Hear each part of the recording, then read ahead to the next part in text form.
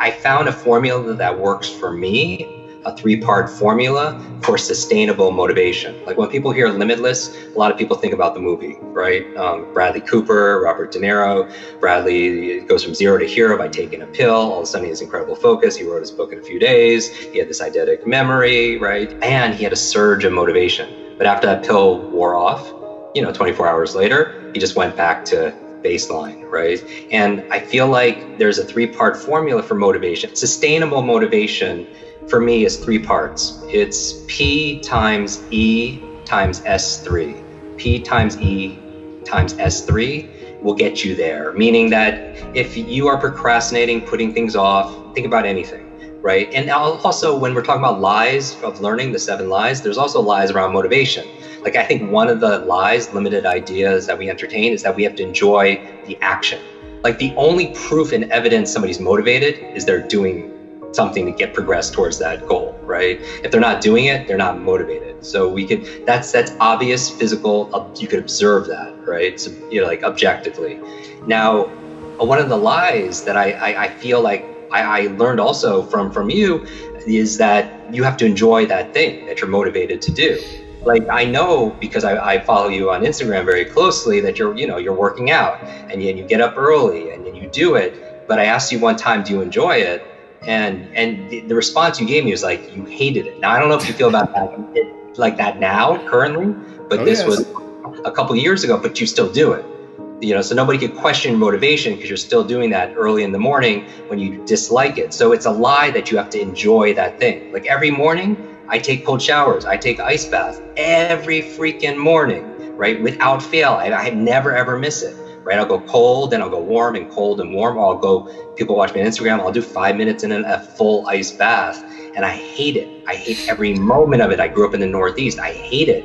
But I do, I do it because I have a reason. So the P in this formula is purpose. Like I believe that like and it's not just intellectual reason for for doing something it's feeling it in in your in in your whole self right and i have a reason to do it because I'm on this mission, right, and this purpose, right. I want, I want, I want to, in fact, positively impact one billion brains, right. No brain left behind. So I'm very, very clear.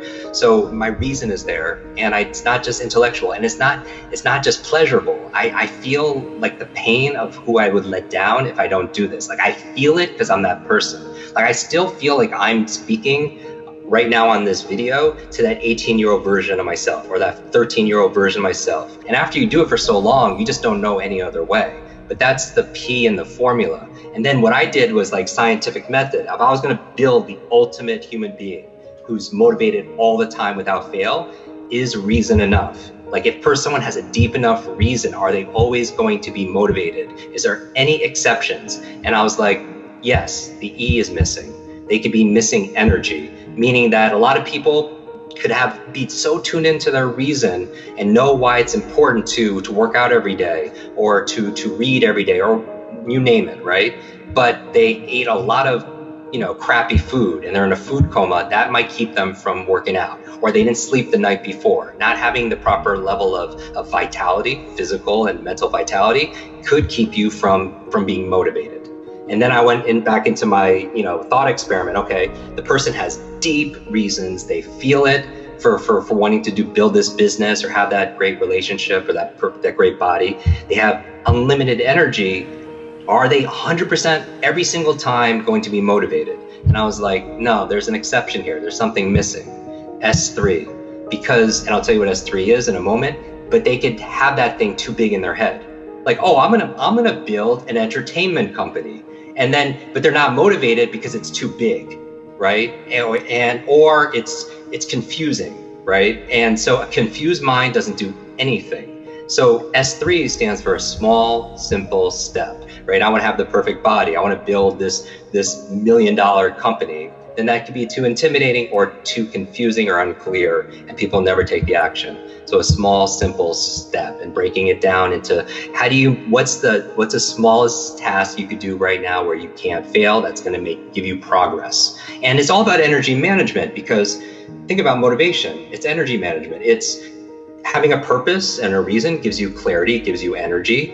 You know, the things I talk about in the whole chapter of the book on how to optimize sleep and optimal brain diet and lowering stress because chronic stress saps your energy, right? It shrinks your brain. Right now, with all the fear going on, this this pandemic, it's not just a physical pandemic. I mean, people have their physical hygiene, wash your hands and social distancing. People have no no strategies for mental hygiene right? And this chronic fear is like it, it, it wreaks, havoc on our immune system, right? This whole area of psycho neuroimmunology, how our thoughts could affect our body, you know, stress levels of cortisol and adrenaline, not only does it shrink the brain, but you're right, it shuts off big portions of your critical thinking. And and you talked about it yesterday also on the live. There are parts of your brain that determine how to feel about something right? So you lose your autonomy because then you just react to things. And again, you, you gave away your power. But for me, and I know this is field tested, not only uh, with working with clients, but also myself. You know, when I have no sleep, it doesn't matter what you eat,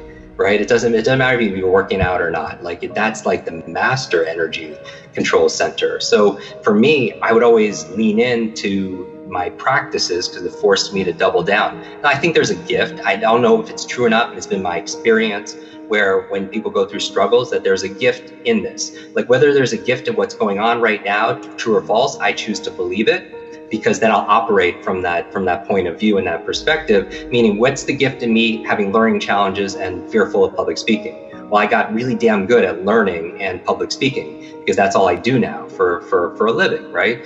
what was the advantage that came out of this sleep deprivation experiment for 10 years now now now it's much better is i could tell you two things immediately it forced me to double down on everything i teach because i'm just i'm just documenting and telling people what i do right? Otherwise i won't be able to perform at the level that i do. And then number two it's forced me also to be very selective in the things i say yes to. Like right now there's no one nowhere I'd rather be, no one I'd rather be talking to right now, because as we heard, like like I'm so clear because when you have a finite amount of energy and wherewithal, you know, and, and vitality or, or bandwidth, you don't say yes to a lot of things.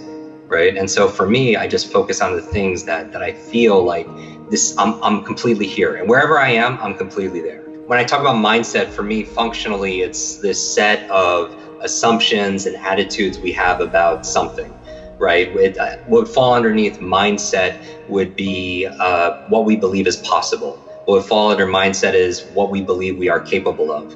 What would fall under mindset is what we believe we deserve, even. Somebody could be very motivated, they can even have the right methods, but they're going to bump up to a psychological ceiling of, of what they think they're worth financially, or that, or maybe they'll self, even self sabotage potentially.